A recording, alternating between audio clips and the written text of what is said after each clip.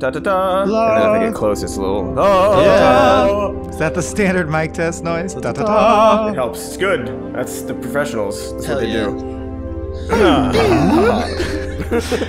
On set at the thing I did for IGN for the last two weeks.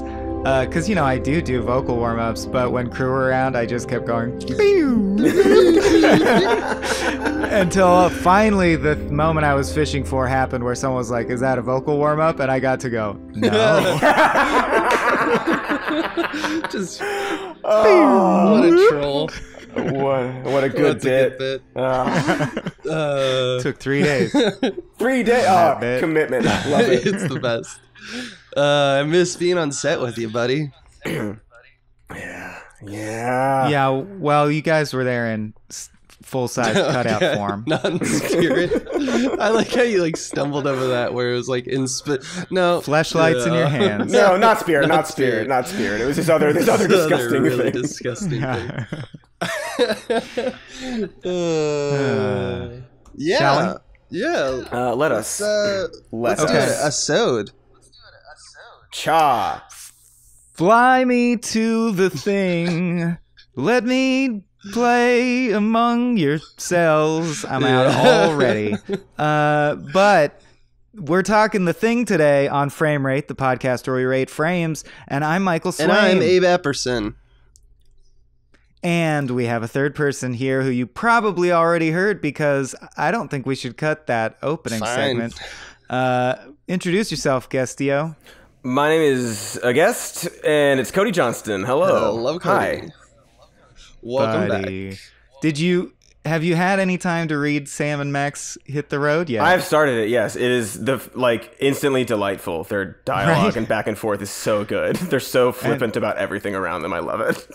the quality of the illustration is just it looks like it was so hard to draw. Yeah, I never. I my own. I mean, my only exposure really to Sam and Max was the game over and over and over again. So actually Yeah. reading the thing is so fun. I'm glad. Uh, what I say we were talking The about? Oh yeah, the thing. thing. The thing. And we, I want to flag. I want to flag two things. Uh, there already is an existing podcast within our broader podcast network. Uh, from Gamefully Unemployed on the thing. Who's the, Abe? Were you the guest? I was the on guest that? because I am I'm the thing guy. Everyone knows. Everyone who's everybody anybody knows that Abe Epperson is the thing guy. I love the thing. Mhm, Um, I stand the thing. It might be my favorite horror movie of all time. Really? Oh, I Oh, didn't yeah, even know it's that. Okay, big. so there there is a thing one and thing two. Excellent. And if Abe repeats any of like Mm-hmm. reuses cruxes of any of his previous points, his small beans pay will be Mhm, deducted mhm. since it's Don't old worry. material. Bleep it out. Co- Bleep it all. Yeah. Cody can say whatever he wants. Yes. Time unlimited use of time machine sound. It's whatever you want, man. It's your show. Hate the thing. thing bad. yeah. Uh Abe, was this a special request Uh, episode? I believe it was. Yes, sir. Yes, sir. Mhm. Uh, I believe with every Mhm. fiber so of my being. we want to take this moment to thank Robot Crank. Robot Crank. Mm. Uh, thank you for the pick the flick you, submission and your, you know, thanks for your patronage. Hey, thanks, RC. Uh, we're gonna do we're gonna do more of the pick the flicks, but it's on hiatus right now while we get caught up. That's true. Um, Although after coming off Whitesnake, which again, good movie, love that Mind Freak five five five. But uh, hey, it's like my prayers are answered because The Thing is a movie we should have covered a long time ago already, and here it is. I think we only avoided it because we try not to overlap too much with Gamefully, but I'm sure they won't begrudge us talking about The Thing for a while. I can't imagine. Yeah. So uh, just real quick, Abe said it was his one of his favorite horror movies. Cody, what's your pre-existing relationship with the thing? Hey, you had seen it already, right? We're talking the original thing. John Uh, yeah, yeah, Carpenter's yeah, the thing. I've I've not seen the prequel. Um, yeah. Uh, I so I actually um, had never seen the thing uh, from start to finish. I had uh, absorbed it like via cultural osmosis, I guess. yeah, Um, but I had never actually sat down and watched the right. thing. So you'd seen images because you know. Images, gifs, scenes, and like I know, I know, like all right, this this scene that I know Mm-hmm. about. Um, but I had never actually Mm. like I'm gonna sit down, I'm gonna watch the movie. Delicious. I wish I Um, was you. So that was yeah, wonderful and delightful. And I don't actually sit down and watch movies these days. Um, so this was actually a great excuse to be like, no, sit down and watch a good movie. Don't look at anything mm-hmm. else but the screen for this. Mm-hmm. You're a Peloton guy mostly for your movies. Absolutely, right? absolutely, yeah. exactly. You gotta keep, uh, you gotta, You gotta keep busy, you know. moving. That's Yeah, yeah, yeah. I gotta a keep that blood flowing. it's a good triangulation because I feel like I'm uh, symbolically right between you. I've seen the thing like five or six times, and I think it's very good. But favorite horror, it's far from my favorite horror movie. That's amazing. uh, yeah, all valid opinions. Everyone's everyone's doing great today. We're killing it. Yeah. yeah, it's good. I, I, yeah, I, I mean, I loved it. I don't know if I would categorize it similarly, but I'm also not like a huge horror movie guy, so I don't have a, a breadth of, of knowledge in terms of like it's better than this movie. it's um John Carpenter's favorite horror movie or of his own? uh, of his Yeah. own movies. so escape from. That all of his movies. The, Hmm. the escapes Yeah, from. we can name any of his Uh, movies, and he likes Better the than thing Big better in than China? it. Yep, that's yep. Yep, all of them. all of them. Uh, I can see why it's very clean and iconic. Uh, I'm torn between whether to ask Cody his impressions as a fresh viewer, or Abe why it's his favorite. We'll be running a Twitter poll for the next 24 hours. Uh, Abe, why is it your favorite? I think that'll get us started with Um, the right positive yeah. energy because the thing rules. We all I mean, agree. it's not just that the concept slaps. That's one thing. It absolutely does. It does. it's a really do that. cool tight concept for a horror movie the like what i think is the crux of the Pitch horror is Yeah. that it can come anywhere from any of us like it is all of us it the, it gives you the illusion of safety and stripping that away uh, and realizing that you're not safe and anyone that you trust is no longer someone you can trust and they're out to get you is horrifying and that's a great concept on time. That's it. Uh, there's many movies Just for yeah. longtime listeners, I want to point out that Abe has long brought up uh, horror. The best horror movies that tend to last are the ones where they find a way to make the environment pervasively the danger. Mhm. And like in Aliens' case, Yep. just if longtime listeners can tie this shit together, you know. Uh, in Aliens' case, it's like it can be anywhere. In Jaws' case, it's like Mhm. it's better in this environment than you are. And in Mhm. this case, it's like it's in the people and Right. all Oh. interesting Completely twists on the yeah. same thing, which is the woods are dark and deadly. You know? yeah exactly Yeah, Uh, the uh, the, mo- horror. Mhm. Yeah, the best horror is the, the unknown, right? Uh, Yeah, in a way. and It's the this is- unknown and the this is power most of the formless unknown. monster. Right, right. And yeah, and the idea that it's formless in a sense, the idea that it's locked in here with us because of the like icy Arctic uh, Antarctic conditions. Uh, like it just is like a perfect little bottle episode, you know. Um, on top of everything, on top of all that, the reason there's a few movies that have this kind of these tropes going on, have you know very cool concepts that are at play. Uh, but when you look at this thing, and it, I always have to look at things as a director, this thing is efficient. Uh, it runs and it uh, acknowledges like film grammar in such a unique way. Uh, one of the, my favorite aspects about it is that how he uses, how he frames everyone from the front. Uh, a lot of movies, a lot of horror movies like to creep around the back because then you like take place of the monster he does a very smart thing where all of his compound shots meaning like a composition that moves across some faces to a, a you know a group of two people on a couch to a third pe- person who's on isolation he gives us the time and the speed to really think about i bet that guy's the guy. And then you go no no no it's that guy.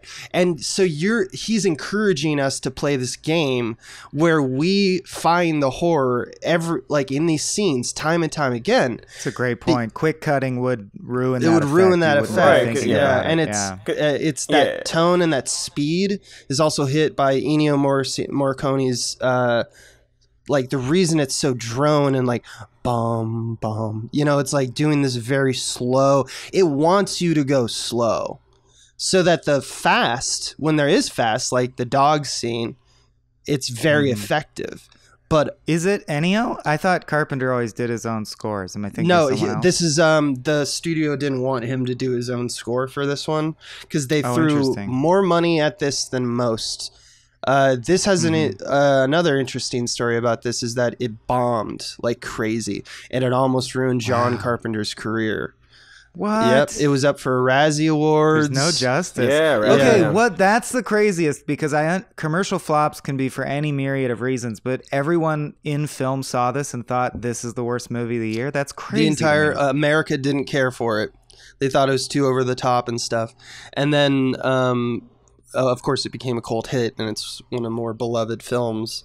Um, but yeah, he he almost he almost his career almost got ruined. He said basically as much that because the film got fifteen million dollars, and like in mm-hmm. nineteen this is nineteen eighty two. Friday the Thirteenth in 1980 had a caught like this is what horror was at the time in 1980. Friday the 13th costs 700k.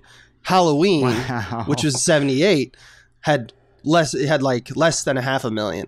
So like. like, yeah, 400k. Yeah. so no one was putting millions of dollars into a horror movie. They just it hadn't been tried before, um, and that's why it kind of bombed. also in the I think. studio's mind, they're, you're, they're like you ruined this whole potential genre of high budget horror movies. right and it's a little different from with a bomb. the studio studio uh, space like if you watch the original howard hawks film and it also takes place in, an like an icy bunker it's all based off the Right. same short story Right, it's the same short story, right? Yeah, I it's imagine. called Who if, if Goes you're, There. Yeah, doing it. I didn't know that either. Yeah.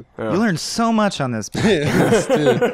it was it was written in like s- 80 48 or something it's an old old thing Yeah. and so when uh thing from another world came out it was like that was 50 something it was just you know it was a new story Um, so we should add, because most of you know this, but then it ends with the ending's really dope. um, and I don't mean to jump to the end, but you just did like most of a nutshell. So uh, I should just point out. Then they go into the tunnel. They fight the giant thing. Uh, they blow the whole place up, and it's uh, only Childs and Kurt Russell. What's his name? MacReady. MacReady. MacReady, yeah. Left.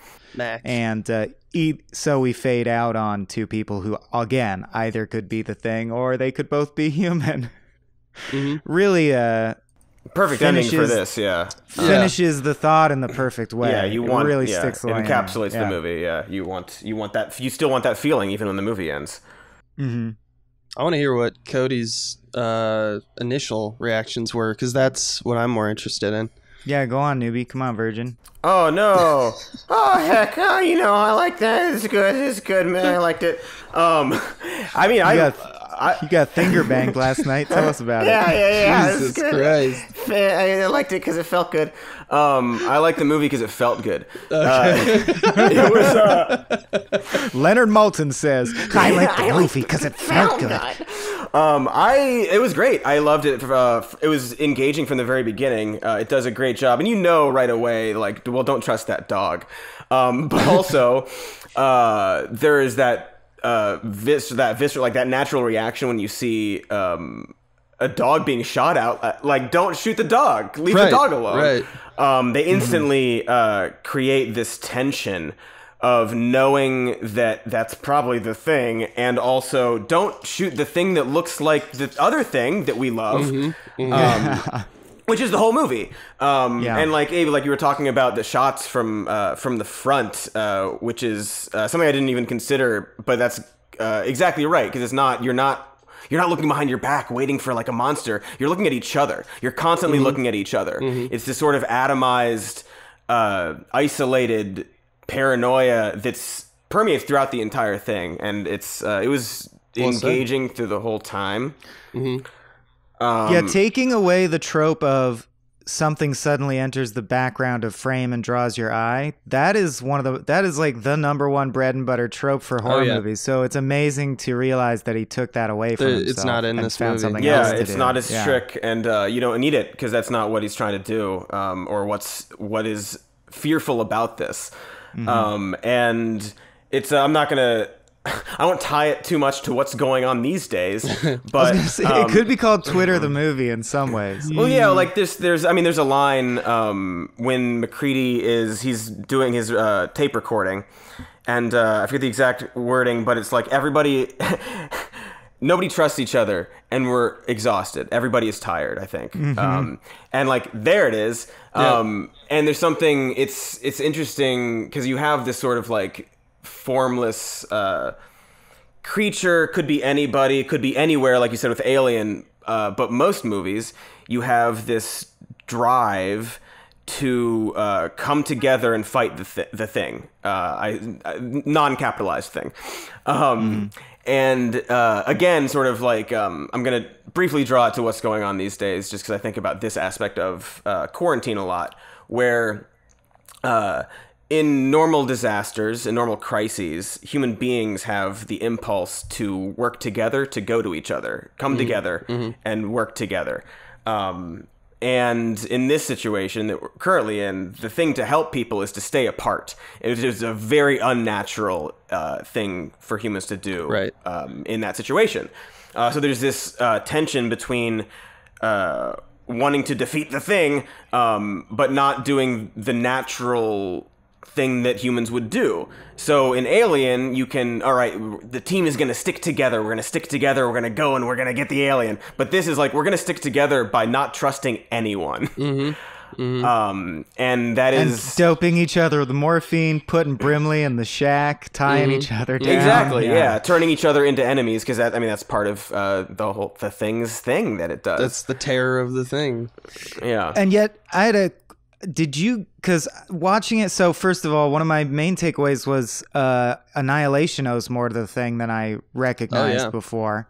Um, like the tied down scene where one of them suddenly becomes a thing reminded me very much of the Scare Bear scene. And, uh, you know, it's a meteorite from outer space and it's just here and it's sort of, you never understand its rules from its own Yeah. perspective. And that was what I found myself most fixated on this time. Like questions like, and I don't even think there's an answer in the movie in, unless you guys have strong inclinations. Uh, do you know when you're a thing?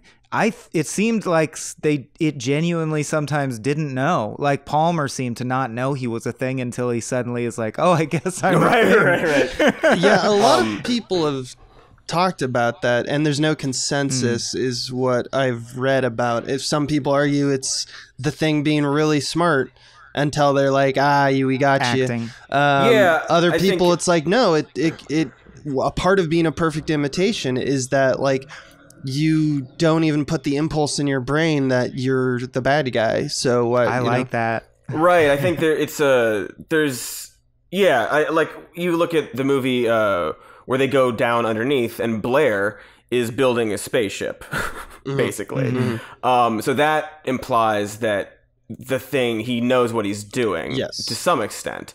But also, I know, like I've read some things talking about even the actors didn't know they would have these. They would have these this exact mm-hmm. conversation on set. Like, wait, so do I know that I'm the thing, or do I just act like I don't know that I'm the thing? Mm-hmm. And they wouldn't. Mm-hmm. They they didn't really have an answer for that either. Um, but it is scarier if you don't know. It's scary. if uh, you They don't made the know. right choice. If they were doing like that sitcom acting where you can where you're broadcasting this is a lie line, that would not be as scary right for sure. there's just that one i think the only indication of of that is the uh the light in palmer's eye right in the um Mm. in the blood scene Yeah. where there's like he's the one He with- doesn't get an eye light. he doesn't get Is that a yeah there's? Yeah. no there's no uh twinkle in his eye Mhm. um Well, that's definitely what makes the dog creepy. Is that they took away its eye light and its eyes are just It's like so- fully dilated Yeah. black. that Yeah. dog kudos Great to that dog dog. Jed? amazing Yeah. acting from Very Jed. good Jed boy. is very Yeah. good boy. Jed is that one walk of the that most walk down the hallway Yeah, where it uh, doesn't yeah. look at. Think about it's got camera crew, it's got like dolly grips, all these things to look at. It could look right at camera, and it chooses to look perfectly in the right spots. it looks in and the someone's oh, so and good. in one shot yes it like there had to be multiple trainers going like now look at me now wait now wait now look over there look over just there a- and then another trainer goes okay come here come come now here. walk Wait, in. stop, yeah, stop. exactly. Good It boy. looks, into, it looks in the other room before it goes into the other room. I know. It's so Yeah. good. and then when they and then they told so Jed was the name of the dog, and then they were like, okay, and we're gonna put you in a coop. Now explode into a bunch of tentacles. And it did. And he said, did. "I gotta eat do all the what I other gotta do, dogs," man. And he's like, got it, no problem. I'm a good Didn't boy. miss Here a we go. beat. Such a good boy. Yeah. Um, yeah, but my other question about the thing is, uh, and the annihilation connection made me think this. I uh, the thing seems like does anyone else find the thing cute and empathize with the thing? because I feel like the thing is an ET or an annihilation type creature. I think it just crash landed and it's scared and lost, and it happens. Its environment for life happens to be living hosts, and it's just trying to like phone home, right? Yeah, but, I mean, yeah. It, I don't. It has no like. It's interesting to me that Brimley's so obsessed with the idea that it's going to spread and take over. What if it was just like, let's say it killed everyone and it won, and it was in a human host. What if was would it just build the spaceship and then go home? Because that's not that evil. That's like what one of our space commandos would do if it crash landed. It would kill all the aliens around it yeah, and yeah, come home. would. That's what they would do. Yeah, Yeah, they would uh, kill. Yeah, they would kill, and the aliens would have their little story where they fight the alien that crash landed. That's right. if it's a part of its Uh, life cycle or it's something that's like a byproduct of our life cycle like it's much it could be very much akin to like you said a human getting dropped off on a planet working on a plane uh, spaceship and at in during that time accidentally giving everyone smallpox you know uh, Yeah. Right. they would not be able to determine if this was like you're doing this on purpose you're not doing this on purpose I just think it's That adds to interesting the that horror. Brimley assumes its motivation will be to get to a major That's true. population center and Yeah. spread. And I'm like, I think it actually wanted to fly away from Earth. Yeah. That's why it was Right. Blair is the actual spaceship. Yeah. Blair is immediately pessimistic. You know, he's immediately like, "Nope, Yeah. it's gonna." Uh, we're well, it's because of die." that really sophisticated computer program that he used. Right, right. Who That's my defended favorite. that? I love that scene. It's my favorite. I remember It's so in the goofy. Gamefully episode, the one thing I remember is one of you mooks defended the computer program. I It's like, did. well, no, it's not so. Si-. All I right, did. s- spool out your bullshit so we can pick it apart. It's it's not that saying like it's one hundred percent. And Tom, I believe, agreed with me. The computer, a computer simple, even back then, a simple programming of just like, how I'm figuring out whether or not this is exponential growth or not. And it, basically, the computer's just saying yes. That's all he's doing. It's Yeah, just in yeah, order yeah. to translate it to an audience that had no computer literacy really at that time.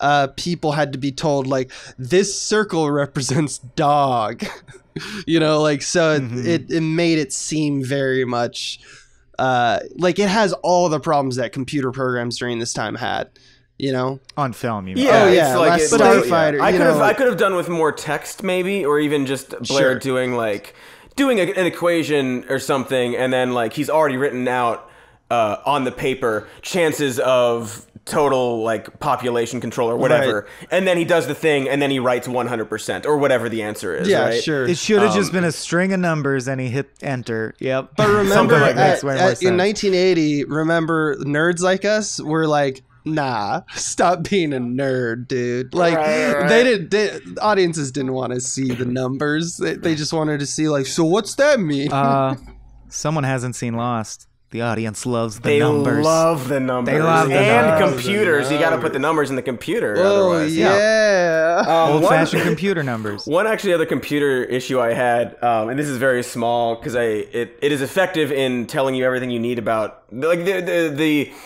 the efficiency of character.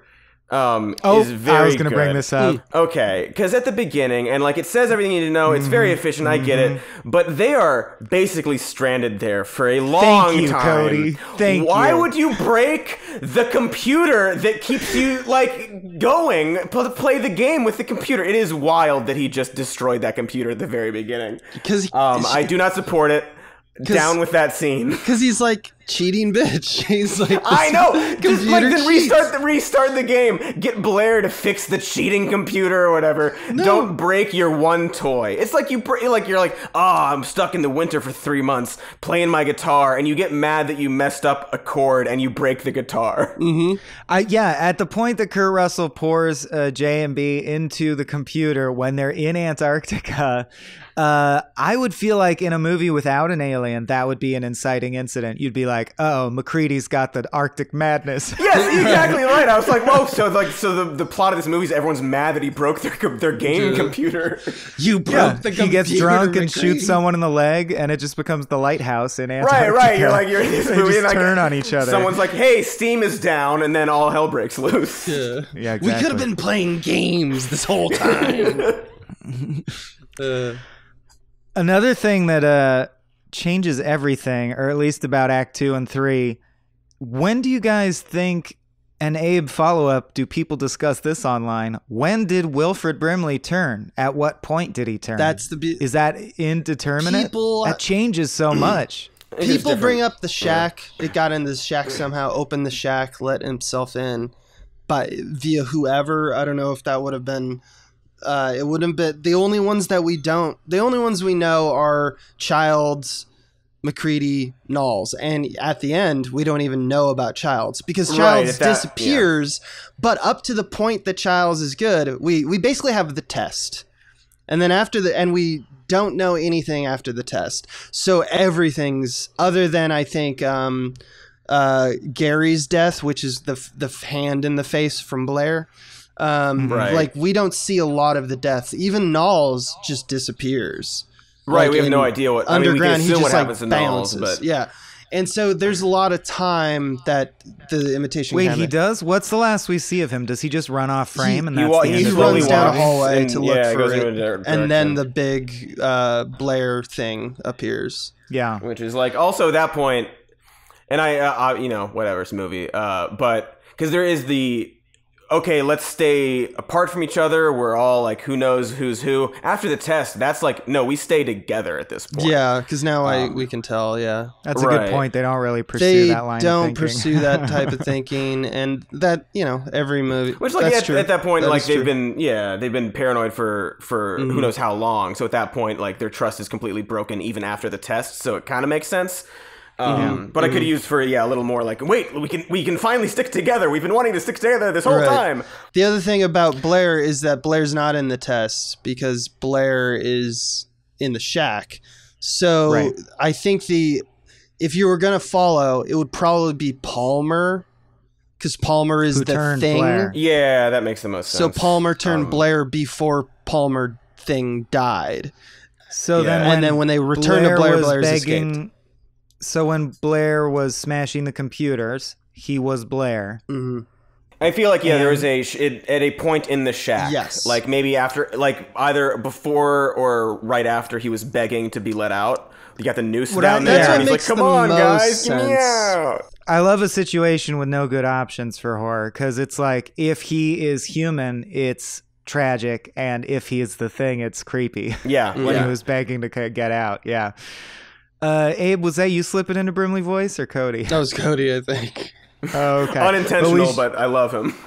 but I have to Yeah. sidebar just for a second uh, to encourage Abe to plug because people who have dreams on PS4 can check it out whenever they Oh want. yes, plug that. Um, and then can you speak for a very little bit because most people don't listen to our podcast for this shit, but uh, about the game you made, and I didn't realize how much it's clearly based on the thing. oh yeah, it is. It's entirely. Yeah, what's the name of the Oh, Dreams wow. game you and Dave made? Uh, Amazing, The name of amazing the game is to the like- left oh of God. Destiny. To the left of you know, Destiny. just a little Mhm. bit to the left of Destiny. Uh, and it's it's nonsense. I don't know why I'm talking about this. Me and Dave Bell made a uh, on Dreams. If you go, it's a PS4 uh, you thing that you can make video games in, and they're very good. Uh, we're not very good, but we made a very horrible. Uh, co- uh, I guess comedy, funny video game um, that is based on the thing. With Wilfred Brimley constantly behind Yeah, the door but going it's- like, "I'm fine, let me out, it's fine." Yes. It's so good. I didn't even make that connection. Um, You didn't? His Me name? neither. well, no, because I had not really seen the thing. He's, he's called Mr. Brimley. Would it made it? Oh no, I knew, I knew it was, I knew it was Wilfred Brimley. You just didn't know it was Um, the. but like it's Yeah. like the thing. I didn't like that. Didn't uh, really. Yeah, connect, yeah. I it's didn't like- watch the movie. Yeah, Yeah. it's a bunker, and it's in the ice. It ends in an Arctic It ends in in an the ice. Arctic cavern. amazing. Yeah. Well, then don't call it to the left of destiny. Anyway, back to the I think movie. it's a good name. I think it's a really good name. So then, why did if he was digging a tunnel to f- make a spaceship, why open the door to the shack? Why was the shack door left open? Because Uh, he, I mean, he, yeah, he could have. The door wasn't open. I don't was think the door was open. I think he. They went- they gra- went- he Oh, it was. I made a big old note when he when they come to the shack to check on him, Blair, the last time and find the tunnel. The door is standing open. And I was Oh, just like, that is why right. he- That is right. Um, Unless it's from Palmer opening. I the thought door it was to turn him. Palmer turning him, and then Uh, leaving in a hurry because maybe everyone, because there was like Mhm. a call for, like I don't. Paul you have to. or you have to assume there's scenes at we're not point. seeing. You know, like that's just the only way they deal with this, and which means that they could have um, operated exactly how it was. We don't know why the doors open or closed. At some point, someone opened a door.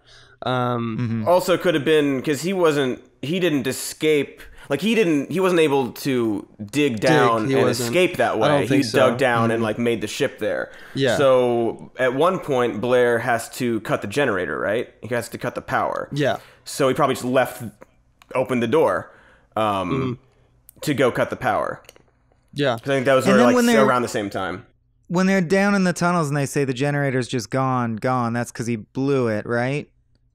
Yeah, he'd like. Yeah. I guess yeah. I guess my question is why there are massive stockpiles of explosive barrels in tunnels under the lab, Oh, or if that's that's for a common mining. practice in Antarctic yeah, labs. the, the reason that there's so much dynamite and kerosene around all the time is that Mm-hmm. that's how you dig into the ice to get to the really deep, you know, oh, and they're digging down to ice get core cores, samples, core samples, et cetera, et cetera. Yeah. Yeah. So they have to and like blow yeah, a the flamethrowers. path Like yeah, you're on. Yeah. because they want to get. But I did yeah. love how it was kind of annihilation-y again. Like you descend into this like close underground space where Mm-hmm. the thing finally is. hmm It's interesting because Annihilation also, like thematically, the re- the reason they seem similar, even though they're not, because I would say Annihilation is about uh, the self propensity of humans to want to kill something that works within themselves. Like we have a death wish, and it's even in our DNA. It's called mutation in Mhm. cancer. This is about the this is xenophobic, but uh, in that like there's a th- other thing that's trying to manipulate you into becoming a bad thing. Um, but they both have the same like similar uh, like horror like motivation, which is fear of self or fear of other, but other as someone that you're willing to trust, like fear of the group or fear of um, like the thing that you hold is like um, sacrosanct, you know, the, Or yourself becoming someone Yeah, you don't recognize anymore. the feeling of Yeah. powerless within the group. Yeah. It definitely tracks to like getting radicalized on Twitter. It's interesting.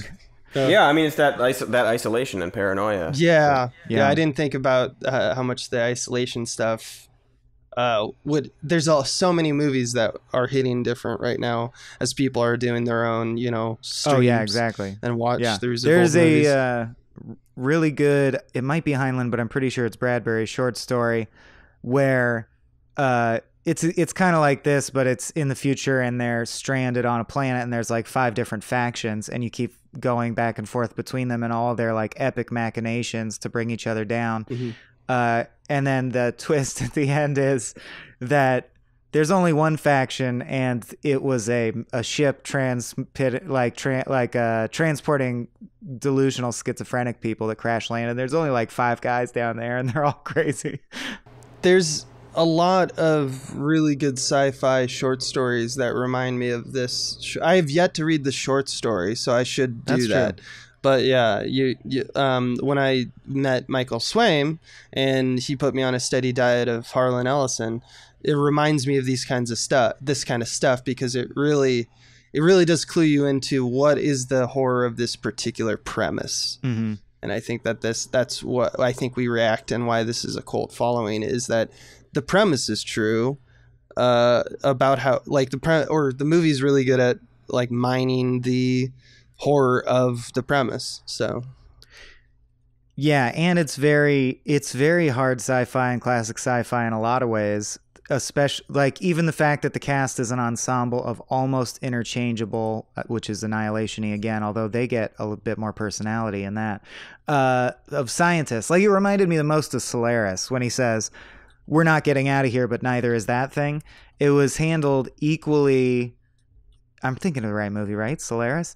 It handled with an equally like they're a group of dedicated scientists. If they have to die for the mission, they will die for the mission. Where they'll be like, "But my daughter, Right, I wanted right, to right, right. touch, I think touch her provocatively with animal crackers." Mhm. Sunshine, Sunshine. Sorry, talked- that's right. yeah, which is another Ar- Alex Garland vehicle. yeah, yeah, as yeah. the writer. That's the one I meant.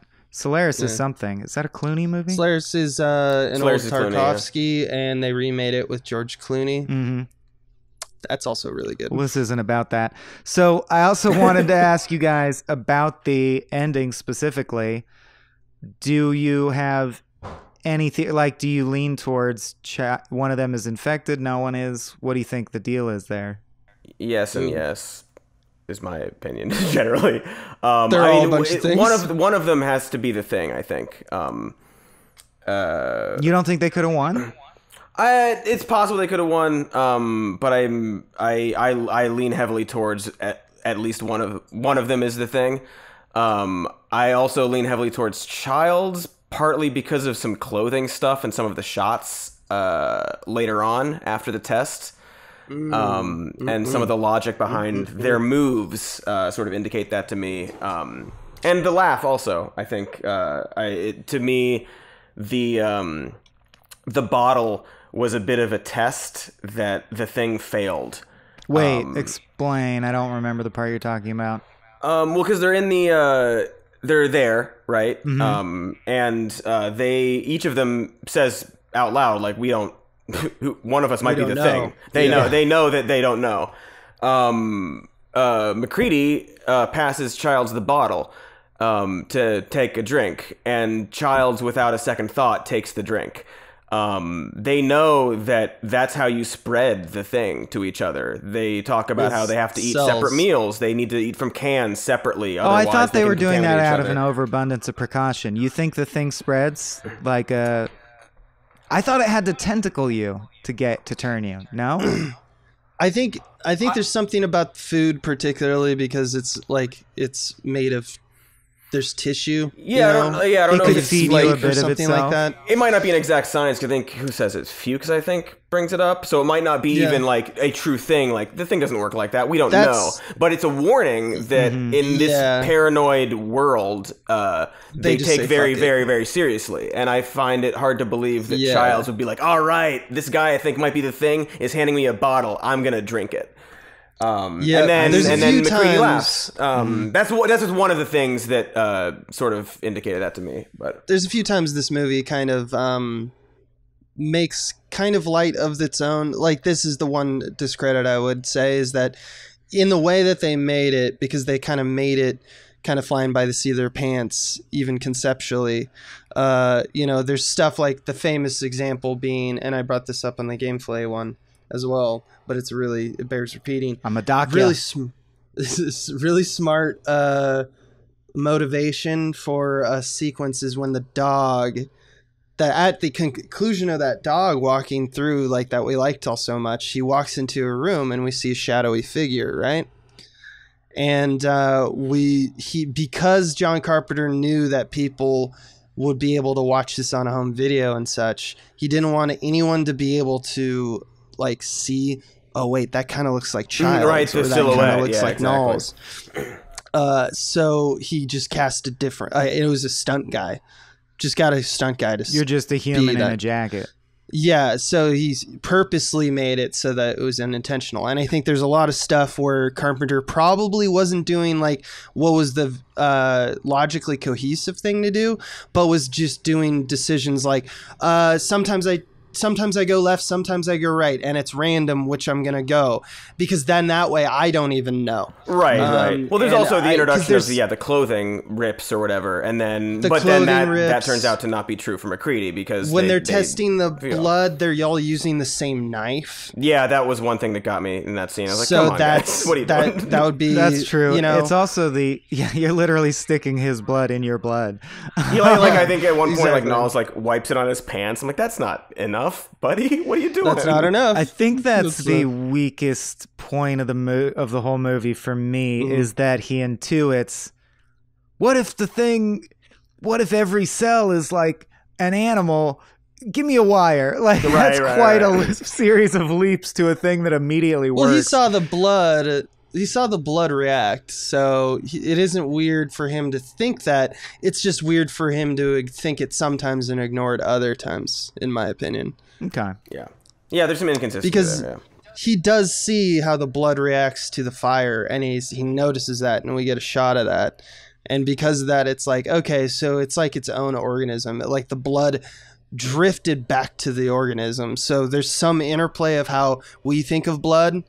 Their blood is different, very different. It might be individual cells. They it might be a s- like a group of cells that are Yeah. yeah. right. That are connected, independent even yeah, of each other. not. you know in looper when they had i think bruce willis say the line don't worry about it it doesn't matter about time yeah, travel Time travel yeah. Um, I felt like this movie had a better version of that, which was Kurt Russell saying, or he's like, but why? How could that be true? And he's like, because it's different than us, because it's from outer space. Yeah, yeah, that's yeah. all you need to know. yeah, he's like, I don't know. Yeah, he Uh, has a what do you want from me? An alien He's- He alien. says, "What do you want from me?" I think. yeah, yeah, yeah. And that's Which what is you- like that's the what you'd say. It's screenwriter. like, and the screenwriter at three in the morning. Look, what do you want from me? It's from outer space. Well, that's all because that's Well, it also like that's 'cause the most Kurt honest Russell. and true answer too. Like the time travel thing was more seemed like more of a lampshade, but that's actually like I don't know. It's an alien. It d- it did the thing. We all saw it do the thing that we saw it do. Yeah. I don't know. fly helicopters. Yeah. Oh, a side I'm not- note: when I watched this, I had the subtitles on because my air conditioner is very loud, and I want to make sure I didn't miss anything. Anytime they said the word "the thing," not not like the thing. Anytime they said the word "thing," it was capitalized. Yeah. Uh, so they'd be Mm-hmm. Yeah, saying that like, must "Oh, been that like a thing over search and there," and it replace. would just be like referencing not the, The thing. but an object, but it would be Bum, capitalized. bum. It was very very silly. Someone just did That's a find not- and replace. Yeah. Yep. Yep. That's My question absolutely is what happened. if if the thing had landed in a lab not in Antarctica where there are actual eh, where there's a biosphere. Mhm. Okay, so like if the blood if you can be the thing on a blood level, cellular level, can the thing infect bacteria?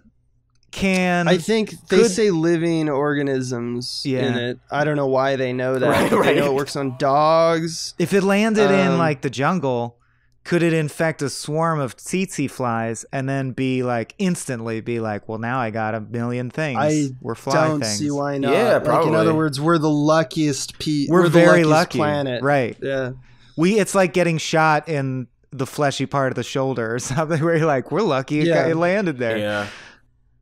Uh, the, Yeah, the matte paintings of the ship sucked. I wish after seeing the matte paintings of the uh, crash ship, I wish they just didn't explain the ship or go to the ship There's something about like they see the tapes and then they go out there and they to the realize, oh my Norwegian god, it's big. settlement. Yeah, and then they see the block the chunk the missing chunk of ice where they pulled the pilot from and i kind of like that because it was like oh it, you're it's not just like a thing randomly came and landed on and then killed everybody uh you It know crashed. Yeah, they and the dug guy- it out crashed. From it's been who sleep- knows how we long ago. caused Yeah, this, Yeah, yeah. exactly. that uh, to me that adds a little aspect of the story that also seeing the it was just- aftermath like the uh you know that person the frozen person with their their throat open and stuff like seeing like here's what here's what Jesus. we are headed towards um because like like you mentioned like yeah they're all scientists. They know what they have to do if it comes to it. Um so right. I think that yeah, was that was guy very cool totally to took cut his own throat and Yep. wrists did he cut his throat the- too? yeah yeah think it's a so. real How do you I cut real gruesome throat? real gruesome shot Uh, Hold on, give me a second. know. with uh with a, a lot of commitment um Mhm. That's what the, that band, the Commitments. That's all they Mhm, sang. That's what it was about. Uh, that, the yeah. band was about the the movie The Thing.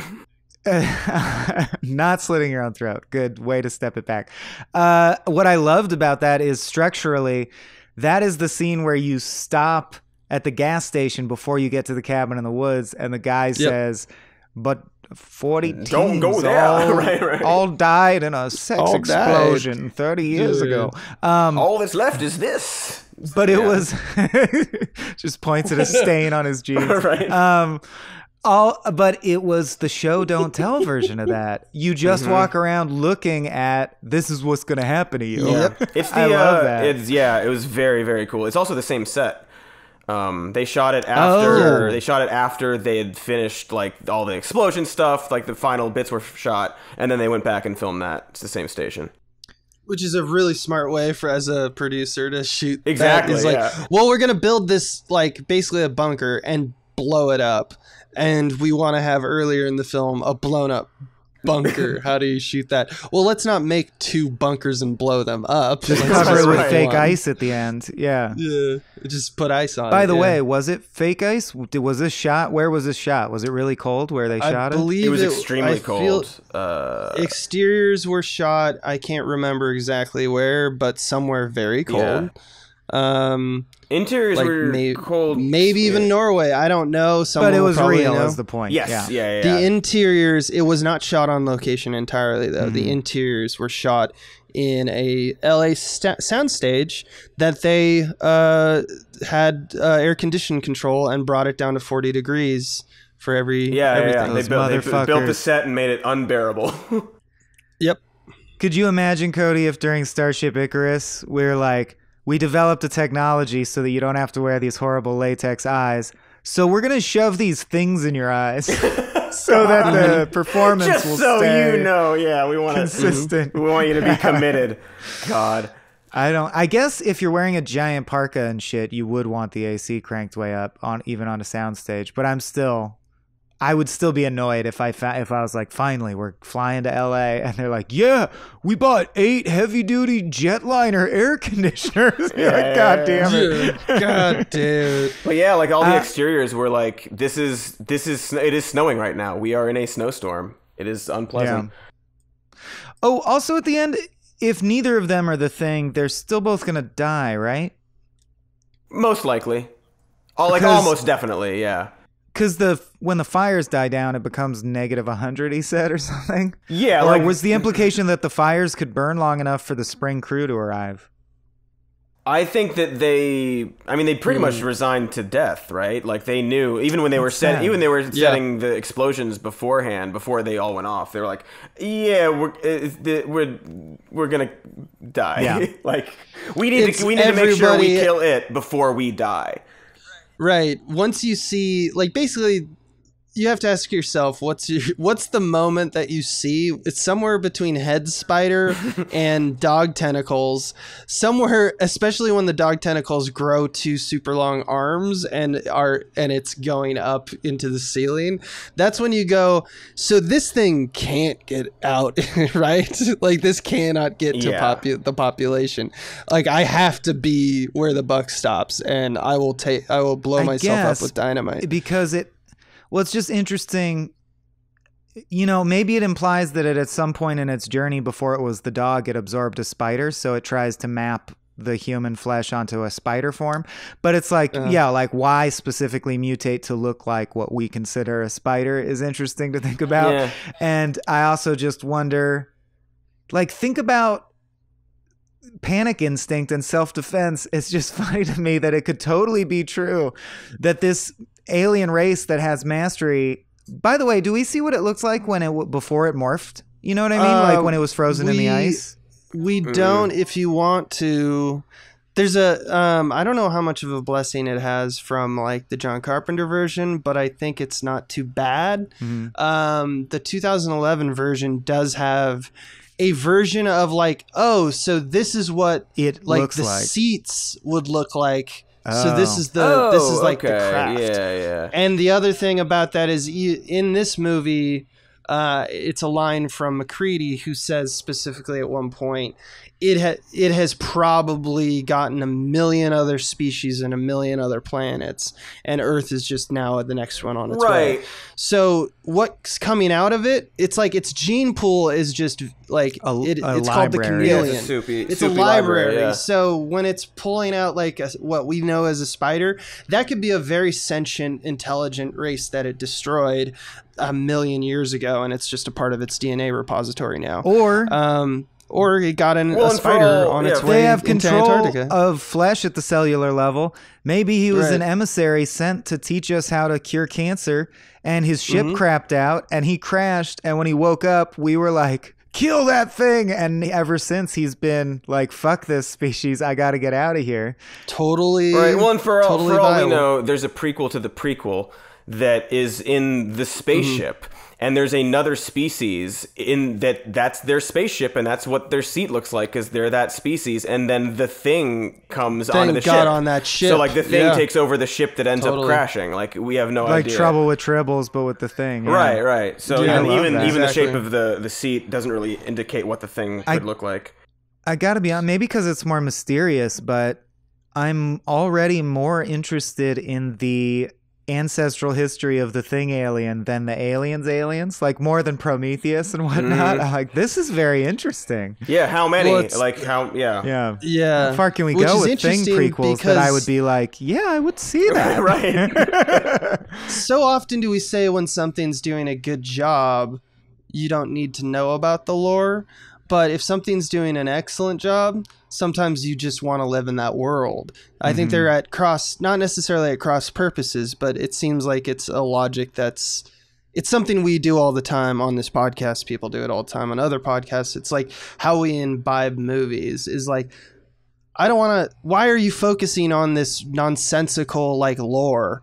I don't give a shit. And mm-hmm. then the next second, I'm like, I, because I agree with you. I really do want to know, like, what is the tale of this species? Because that's probably super dope and riddled with like horrible t- events. Yeah. Right, and the, the You know, idea like, of the genocides. thing is it's pretty universal in like why it's effective and creates fear. So to put it in any other situation, it's not even like lore necessarily. It's just like yeah, do another thing in another place, Just and it happens to yeah, be things all the in this long line of the thing Yeah. going from planet to planet to ship to ship to all these places. I'm surprised we haven't had like a uh, shape like this is the closest thing that get this is the closest version of it.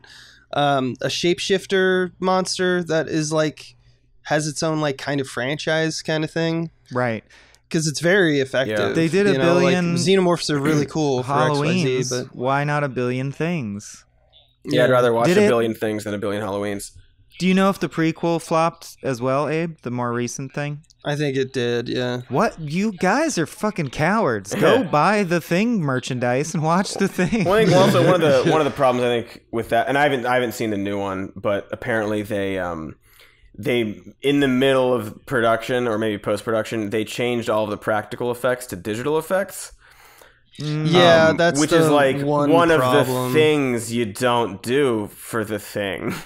No, the whole point of the thing was that it was like that's why it's a cult movie, right. I think. I mean, it's Otherwise, yeah. it would have just been forgotten by like just like any other like very cool concept. But oh, like, how cool would it have forgettable been to be on that set just to be in the presence of those sculptures and like Yeah, look at the the puppeteers working them and be like, "Holy shit, Yeah. that thing's crazy Yeah, looking! yeah. You guys crushed it." instead of like a uh, guy John with a bunch of dots on a suit and being like, "Oh, trust me, it's gonna be really spooky." Uh, a one of my dog in a green things- leotard. God, yeah, going. uh, there's a uh, an, something else that speaking about like the body horror element.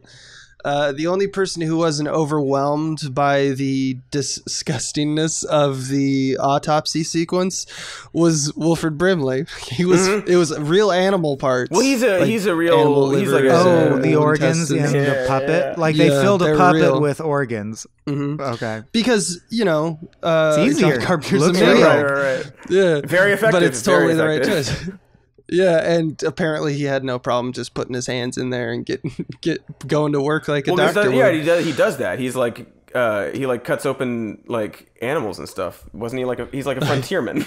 Was he? Does he? I was gonna say I I, would. think that's what he was portrayed as. I can don't see Wilford is. Brimley elbow was. deep in a horse easily. He seems at Yeah. home there. yeah, it seemed he did seem at home. There. Is Also, Wilford It's just- Brimley a Civil War era horse doctor? I think he might he be. was. I think Yeah. he was. Yeah, Still Uh, is, man. new He's one- good on Twitter. he uh Yeah. yeah. he's uh just a what a joy he What a is in treasure. that. Um, He oh, just yeah, yeah, he- scans he was- for his name and then types, "No, I'm Wilford." He was he was a uh, he was a ranch hand. Okay, so he's Okay, birthed then a that calf or two. Yeah, sense. so he's like he like he's like, oh yeah, get those organs in there. I'll grab them out.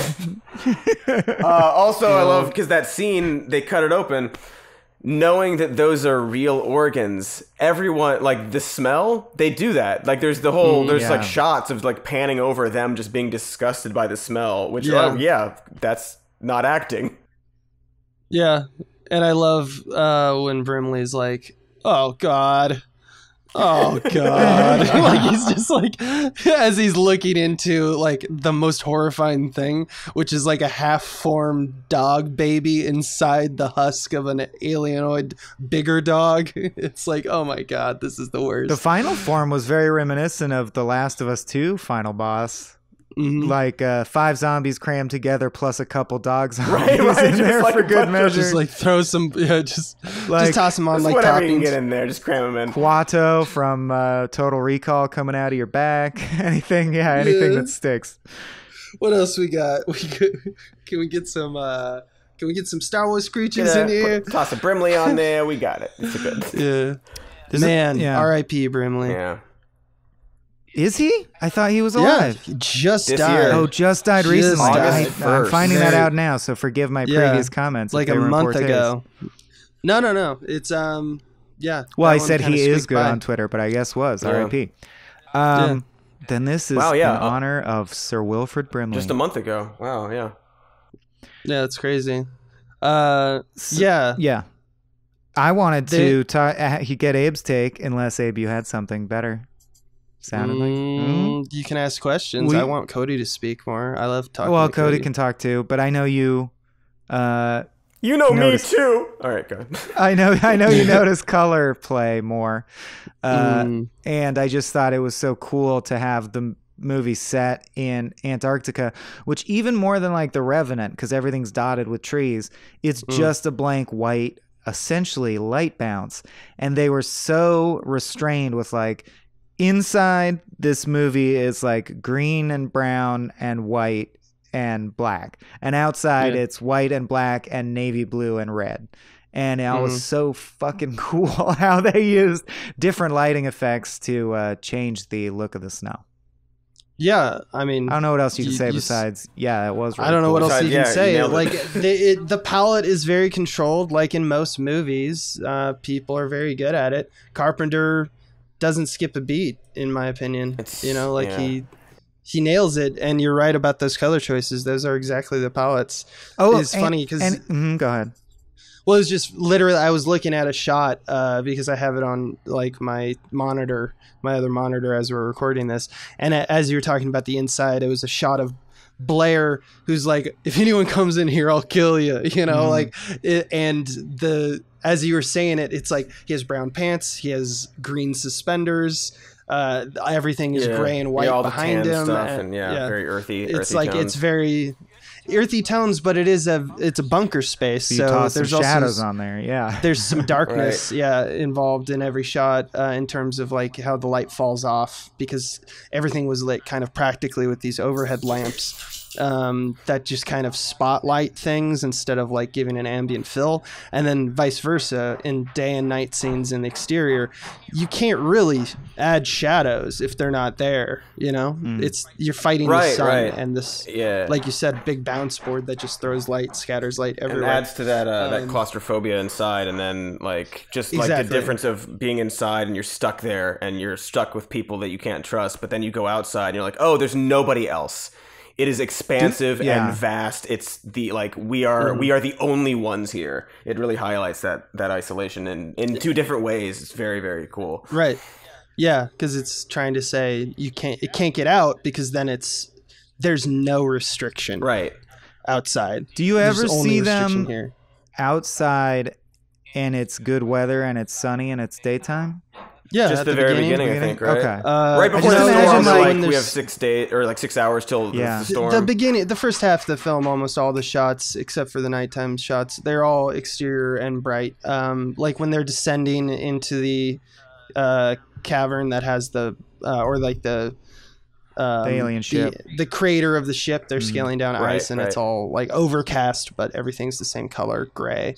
So it's like a lot of. Um, but then the storm hits, and then it just turns like eternal nighttime. Yeah. I was in love with that particular blue color that is everywhere it's in the so movie. Which is effective and good. It's, beau- yeah, it's beautiful. It's the J.J. Abrams blue. I realized. Yeah, it's the I- uh, horizontal flares from all the Abrams Uh-huh. movies. I noticed Yeah. that uh, Oh, specifically. It was that's- either it was either uh, it was either um, kerosene dripping outside, or it might have been was it Benning's blood? Is Benning's the one that has the claw hand and they burn him? Yep, Okay. yeah, that's Benning's. Yeah. uh, Benning's. So like, there's just like this drip, drip, drip, and you have uh, it's like it just looks like black Mm-hmm. blood against like the white uh, snowy backdrop, and then these glistening. It's glistening blue and red. Um, yeah, it's really pretty. Yeah. yeah. and then the yeah the kerosene itself is like this amber color uh It's and basically cop car siren colors, which I wonder if there's an intentional like everyone gets paranoid when they see those colors. Mhm. in- And also, like, there's no It one makes you com- there's no one coming for you. There's nobody Yeah. on the way.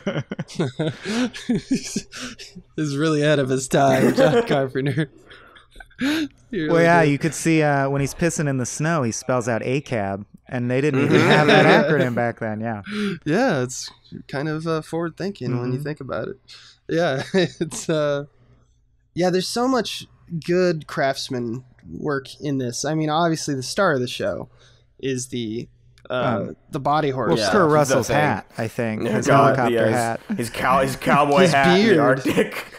Like we get, His we get it. We get the character. We understand. Come on. Uh, uh, yeah, uh, this movie was not enjoyed. The body horror stuff, all the stuff that were like, yeah, this fucking slaps. Uh, that was exactly why they hated Mhm. it. They called him a pornographer of horror or a pornographer of violence. Well, did the sorry. fly tank? Um, Cronenberg's fly? Yeah, I, I thought that's a good question. We did a fly episode. we did read not too long ago, and. I gotta say, I find that grosser than this. Oh, it's way grosser because it dwells on it and such. Yeah. Um, But I wonder. Yeah, I want to. I want to find out that box office actually right now because that's that's a good m- movie to uh, mention. They'd be a good it's all- pairing. yeah. it's like four years later. Uh, it. I think it actually did. It did very well. Yeah.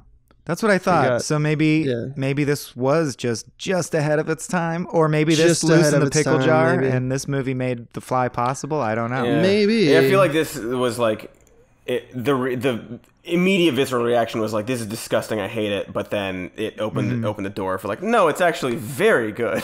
There's stuff going Yeah. on. It's not just Yeah, that. It's like a that's- it's a thoughtful movie. Right. Right. It's and it's four years before. Uh, or fl- the fly came out four years after uh, the thing.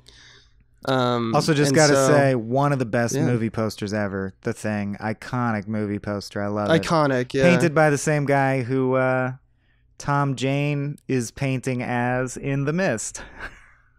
Oh, Do you Oh, know what I mean? Tom Jane, it opens Yeah. with him pretending to paint movie posters, and they're movie posters by this guy. I think his name is Drew Struzan.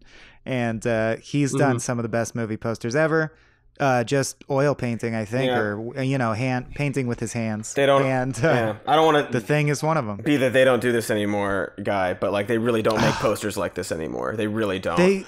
Eh, They, they Photoshop it to look like a painting, but you can tell. I want to see real painting. and just like the simplicity of it like i'm th- also thinking of like the alien poster it's like it's just the the glowing egg it's like that is such uh an evocative poster an image you like want to Mm-hmm. you want to know what that movie is instead of like well here's here are all the actors in the movie playing their characters They're Dutched.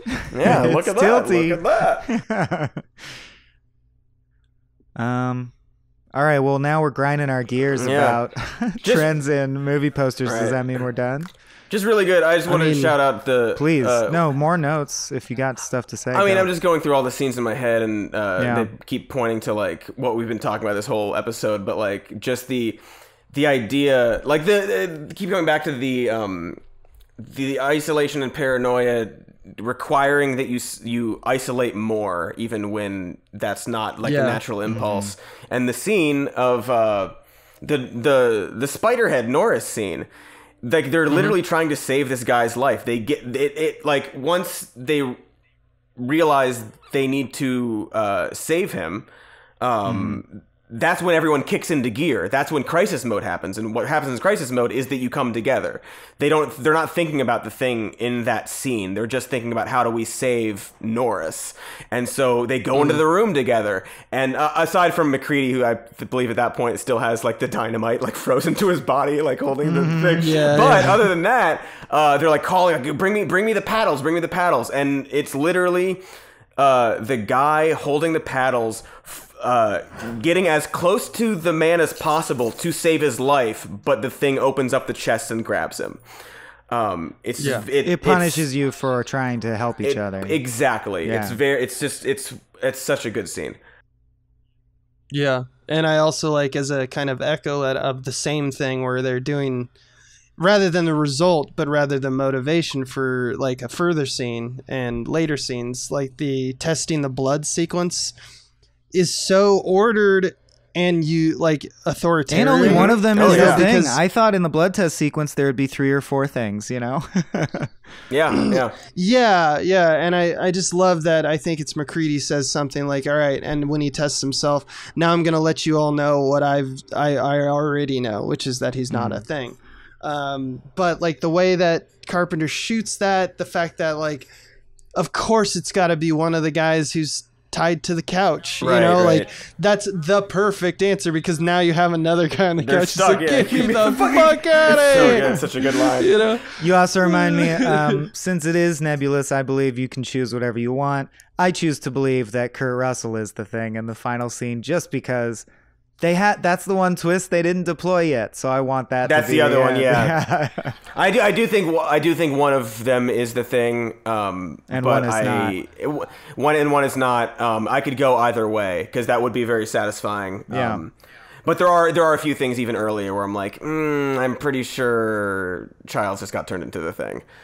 That's why I do like the Futurama body uh, shape shifting monster episode because in 22 minutes they mathematically do every possible permutation of this twist. It's a riff that combines all these stories Mm-hmm, into one, where it's like like Fry going, "Oh, I know what's going on here. I'm the monster." right, right, exactly. Right. Well, that speaks, that speaks to that uh, that fear too, where it's like I don't even know if I am. yeah. The imitation is so Right. perfect that the imitation thinks that it's real. Would I know I that? think I'm that's my imitation? favorite idea that's come out of this episode. Yeah, that's so cool. If it like if it copied the structure of their brain and the mo- at the moment the final molecule clicked into place, that brain would have all the memories of the original Mm-hmm. and not know it's a thing. Exactly. Until it, it's like, oh wait, gross. I'm gross now. I'm the thing. yeah, well, better thing it up. It's a living. Yeah, that's. I mean, Childs basically says the reverse in the movie because he says, uh, "So how would we know who's human? If I was an imitation, a perfect imitation, how would I? How would you know if it was really me?" And you guys are saying like, how would it know it's him? It, like, how would an imitation know? Um, yeah, I think. I think you have to because of how Blair. Uh, right. This this spaceship uh, kind of know gives that, that, everything knows it's a thing.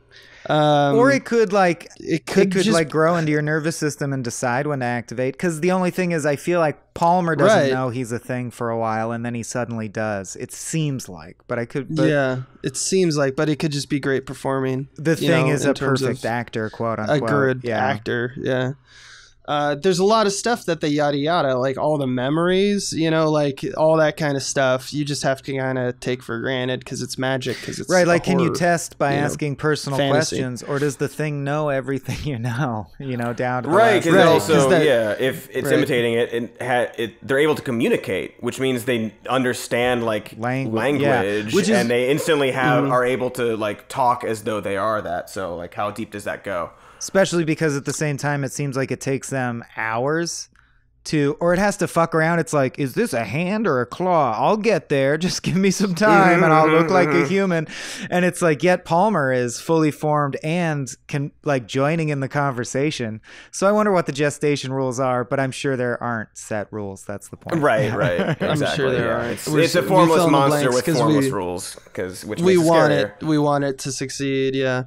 Um, it's crazy how much because like Blade Runner had a very similar kind of like we have the whole test and the whole concept of like we need to know if you the alien are like us. Mhm. like what is intelligence? What is you know like what's what is the magic sauce that makes uh humans humans? What is different pr- between others and that yeah and it's always something It's like that it's always love. It's, it's that The answer is ineffable love, Mhm. stuff or something like that or just like i just wouldn't do that because i'm not a machine Right, right. uh, this is this is of course a lot more antagonizing because from the get-go it's like i must absorb you but uh, we were fascinated in this era so much about and i think we're gonna i uh, honestly based off what's happening and what cody was saying which i think he's spot on about i think we're gonna have another era in movies where it you know the the game of it can be anybody is going to resurface. Like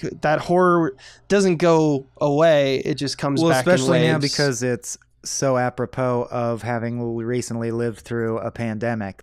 Some the odds Yep. are high that some budding filmmaker right now is having the thought oh you know what's brilliant like a shapeshifter and it reflects the paranoia of a Right. Uh, pandemic and you're like that's true that is a good time also- for a yes, movie like that yes, you should make the Yeah. thing again. but you know And what it's sucks? because we're think- out of titles. We've already. I was trying to think of a new title in my head for what, but we've got the thing, the stuff, it, and them are all movies already. The formless, they the shape. they live. the shape, maybe the shape. yeah the shape the blob The blob exists. right. the blob exists. I think the shape is the name of a horror monster in something. That makes sense. It's a good- That's a yeah, cool it's name. The form, yeah, the form, the formless, Yeah. the uh, the shadow. But it's like, but it's And just the movie, the The shadow. shadow knows. i think if I Oh think yeah, Michael comes Myers is called the shape. oh Oh. he is really Yep, they call him the shape. he's not called halloween Halloween boy. it's the Halloween monster boy. Get out of here! It's the Halloween. Uh, no, I think a lot of these because if you watch Invasion of the Body Snatchers, like fifties to sixties and sixties wasn't there wasn't a ton of this type of horror, but there, there it was all Buck Rogers sci-fi kind of stuff. Um, so everything was like bright and great.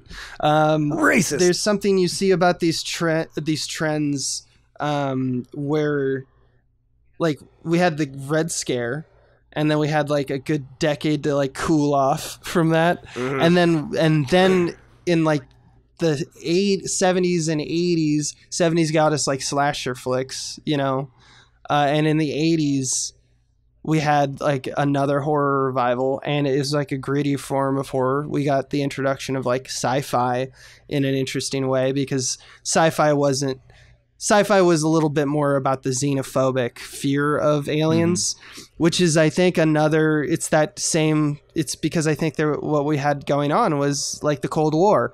It's the idea and we're going to have another one now i think because the only difference between humans really that we're trying that we're seeing right now is like some of you believe this bullshit and some of you believe something else. And the only difference that you can really because of how split we are the only you have to like talk to them and figure out what's going on in their mind before you can really say like well what are you human? Um, and i think that there's something to be said about like the shapeshifter like the reason shapeshifters are terrifying because they are like we're saying formless and you can't know if a thing is the, an imitation is an imitation until you do like a test on it and if uh I want to see a horror movie where there is no way to test it. What does that do? yeah. That probably fucks everything because then it's just like, well, nothing matters because we're all fucked because we know there is a thing, but we can't even Yeah, test. I mean that's gonna you know, that would necessarily. yeah more probably more quickly lead to the conclusion that they come to at the end, right? Where it's like, well, it's it's Right. it's not us or it, it's all of us. It's got to be all of us in order to make sure that it is destroyed. It is destroyed. Yeah. But that's an interesting know- thought experiment. What about an alien parasite that takes you over, but it doesn't? It acts exactly like you, and everything's the same, and it spreads quickly, and it everything is exactly like. Has humanity been extinguished if, from an outside observer's perspective, everything is continuing exactly as normal? There's just different consciousnesses inside the things that are doing the Right, thing. because if it's an exact replica, it's going to have the same memories, which means it's going to react to its environment in the same way too. So, like all Yeah. of the things that it does Right. are going to be the things that you would probably do. It's just not you anymore, but you also don't know that it's not you anymore because it's perfectly imitating what you are. So I love it. So, uh, in other words, watch uh, FX's devs. Ooh, I was gonna say, in other words, Yeah, play uh, you're in Dave's Wilford Brimley game. I was going to say perform the you? experiment from Dark City until you can scientifically determine what makes humans humans. All Which, th- by the way, I think in that movie it's also love. I think. I think it's that he loves that one lady. It's Ah, love. It's I bet, I bet the thing loves. I bet it has some uh, some. I bet it variety fucks. of love. Oh, it definitely fucks. See, It's got like a dick stock. that I want to see out, the and it's like, castaway version of the thing where you're with the Helen Hunt thing at home and he is a brave spacefaring thing husband and and like she gets on with her life and then he returns and is like "Uh, do you know how many arctic scientists I had to kill to get back to you And There- she's like, there's- I don't even recognize you anymore. And he's like, That's the point. I've absorbed like 7,000 things We are things. Christ. That is We're what all we do. things. We're all I don't things, recognize you anymore. You're not supposed to. maybe absorb someone who will listen for once I'm slurping out of here It's like I love because like, I feel like we've talked before about how like yeah like with Star Wars movies do like do like a, a noir Star Wars Bedroom do a romantic comedy Star Wars don't like get. all the things um but doing that in the Thing universe is would be very very funny a Kramer versus Kramer in the thing Exactly. universe would Yeah. a romantic comedy would also be good. How'd you know they? Like how'd a you know they weren't a sentient species? Uh, he uh, knocked a bottle of booze into a computer right away. It was obvious. I mean, it's like no It was would do that. obvious. Guy's an idiot. These guys Who would ruin their idiots. one game? We It's don't the even one need game them It's the only game. It's the only way to pass the the one time. game they had. I ate them all. anyway, um, I absorbed Yeah. them with my. Eyes. Oh, eye I almost stalks. forgot. Cody, who should I vote for? Eh, whoever you want, dog. Okay, great. Um, but yeah, tell people about your other show. Oh Your yeah. vastly more popular show that doesn't need a plug. Um, uh, it's a show. Uh, I appreciate that. We call it, what do we call it? We have a YouTube show called Some More News and a podcast called Even More News and another podcast called Worst Year Ever. You can check us out on patreon.com slash some more, more, slash some more news for that. Google us. We talk about, uh, more depressing things than movies that are a joy to talk about. Um, uh, it, but also don't vote for the uh, monster, please. Oh, so now suddenly there's rules. Look, I look, look, look, look. You just said whoever I want, dog. I am Per- personally, dog. Uh, not a fan of uh, the cruel, the cruel, the cruel guy, the cruelest of the of the of the guys. The Yeah. cruelest boy. But you know, but you know, whoever Yep. you want, I don't care. I don't, Yeah. I don't care. I don't Time know anything to about politics. What are you asking alive. this? Uh, I don't care. It's actually really important, but I don't care. I don't but it's hugely but like, but like, please make sure to vote. But like, don't vote if you don't want to. But also, please vote. It's very important. do vote, but also I'm comedically detached, but still vote. Yes, yeah, that's, think it's the- that's pretty yeah. a- pretty accurate. Yeah, yeah. Yeah, they're good shodies. Um, how is Robert? Have you talked with him recently? Um, yeah, He got injured, right? Uh, he did get injured. Um, a, uh, a fascist street thug uh, broke his hand. Jesus Christ. Um, I think Yep. his, his finger. Um, but yeah, uh, fucked up his hand. Uh, he Part is. of the hand. It's part of the hand. Um, he is. Uh, you know, you know. Um, he he's a, A real, real he's a real journalist. journalist. He's a Uh, real he's one. Doing he's doing Yeah. he's doing real work. Um, and uh, he's trying to take care of his team. Uh, things are getting worse out there. Um, and he is, you know. I'm just gonna put uh, the word "fine" in quotes, I guess. Right? That's how we're all Sure. doing. You know. Mhm. Yeah, yeah. It was hilarious because we I don't know if it's hilarious, but we were uh, we were asked by one of our other pick the flicks uh, a while ago.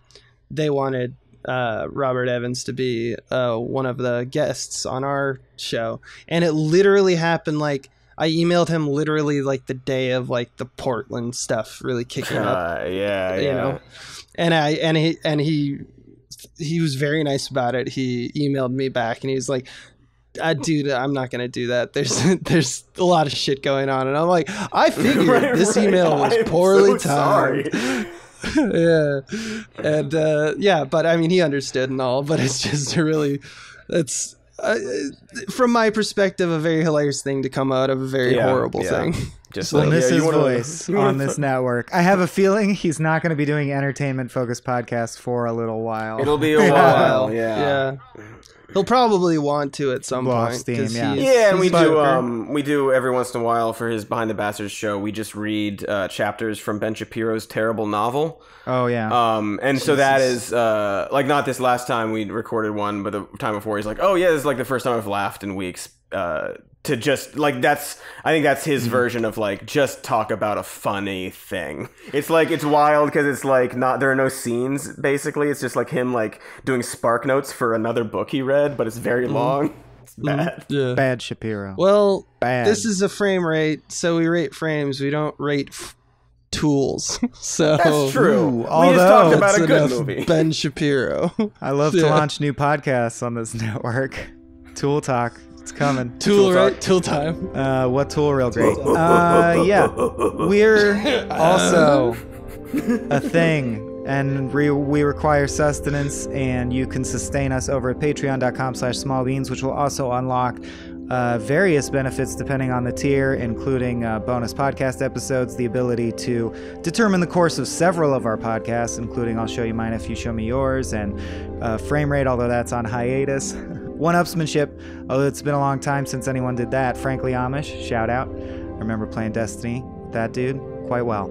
Um, or give us a five star review over at the iTunes podcasting. Yeah, It absorb us. Absorb us. Mm-hmm. Yep. Assimilate. Until then, Assimilate me, daddy. Assimilate, isolate, rate five stars. Rate like five and subscribe. we are you.